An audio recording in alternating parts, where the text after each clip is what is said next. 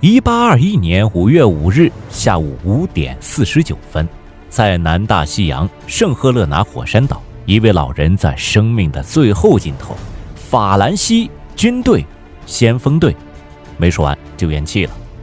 这位老人就是拿破仑·波拿马。我一生四十次战争胜利的光荣被滑铁卢一战就抹去了，但我有一件功绩是永垂不朽的，这就是我的法典。拿破仑死后，圣赫勒拿岛总督将其遗体匿名埋葬，直至十九年后，英国同意将拿破仑的遗体返还法国。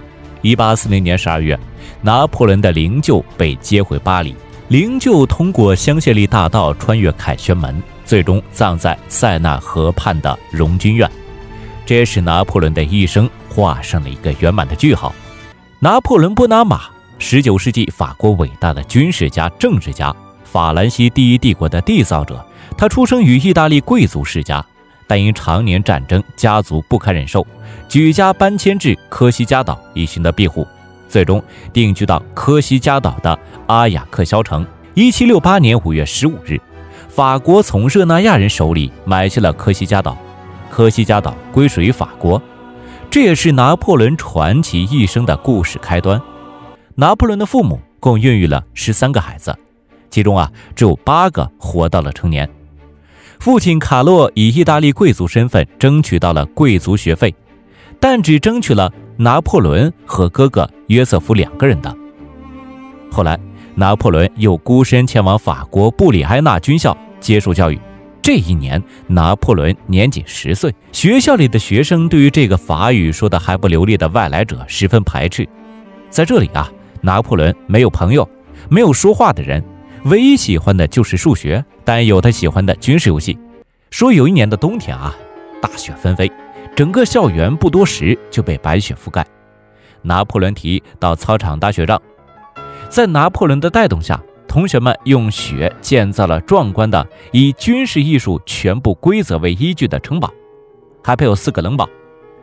拿破仑井然有序地组织同学们分为两支军队，一方攻，另一方守。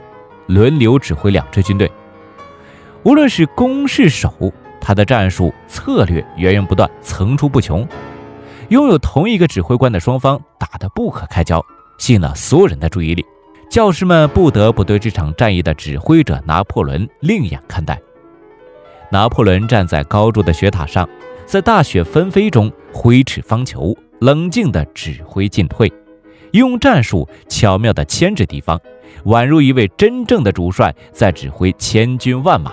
学校老师和同学们终于认识到拿破仑的才华：精密而敏锐的思考，果决的判断和灵活的指挥。在学校的五年时光如白驹过隙，拿破仑各方面的知识都在军校的训练中迅速增长。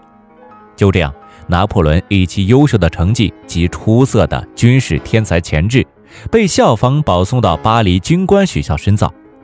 这所学校在法国名声极佳，学校师资阵容强大，设置了数学、法文、历史、地理、德文、英文、制图、击剑等课程，是一所培育国家栋梁的学校。但拿破仑仅仅凭借七个月就毕业了，并获得少尉的军衔，十一月更是加入拉斐尔炮兵团。这一年，拿破仑十六岁。由于拿破仑出生于启蒙时代，所以用。自由、平等、博爱对待这个世界，也想用这三个词改变这个世界。一七八九年七月十四日，巴黎人攻占巴士底狱。拿破仑在家信中写道：“看着吧，这种局面不会持续很久。”但随着革命规模不断扩大，拿破仑发现这场革命将一发不可收拾。但也许他能从中获益。一七九二年。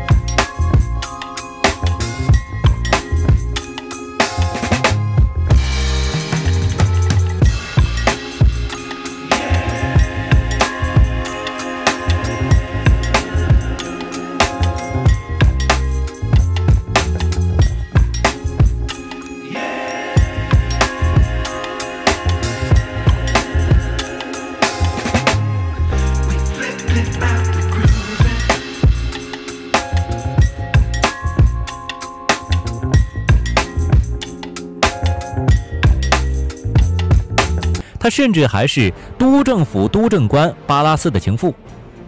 巴拉斯给约瑟芬出主意，让约瑟芬想方设法嫁给拿破仑，并蛊惑他，这样不仅可以解决你的窘迫生活，也可以挽救你的名声，何乐而不为呢？在重重的设计下，情场萌新的拿破仑被约瑟芬的魅力所惑。拿破仑虽对女人的了解啊确实不多，但让他领略到情爱的滋味，陷入疯狂的热恋。最终，在共和国风月十二日。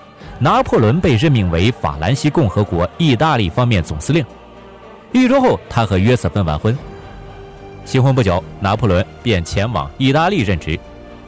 新婚得意，战场胜利，拿破仑再一次打了胜仗，在法国传来一次又一次的捷报。而约瑟芬也俨然成为了巴黎的女王，参加各种聚会沙龙，人们巴结她，奉承她，因为她是战胜者拿破仑的妻子。而约瑟芬却对拿破仑极为冷淡，很少回复拿破仑信件，甚至有了自己的小情人。拿破仑远在意大利受着相思之苦，在给约瑟芬的信件中写道：“今晚如果没有你的来信，我会多么绝望！想想我吧，哪怕不屑地告诉我你不爱我，我身上还有什么能唤醒你的怜悯？”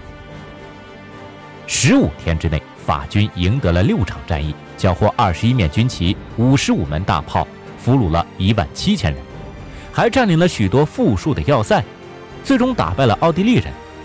从此，拿破仑被称为了不可战胜的战神，敌人只要提起他的名字就会恐惧。但胜利的喜悦啊，并没有冲淡对约瑟芬的一丁点思念之情。六月，拿破仑因约瑟芬来到米兰而极为兴奋。